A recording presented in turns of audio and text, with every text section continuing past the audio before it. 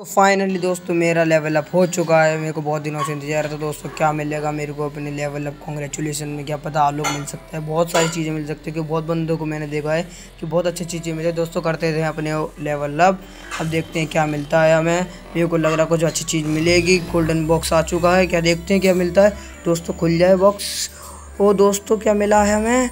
हमें देखने को मिलता है। क्या पता आलोक अभी भी ओ दोस्तों देखो। टट्टी सी चीज़ मिली है। एक गरीना ने चमकांडी गिरी कर दी हमारे साथ, बिल्कुल।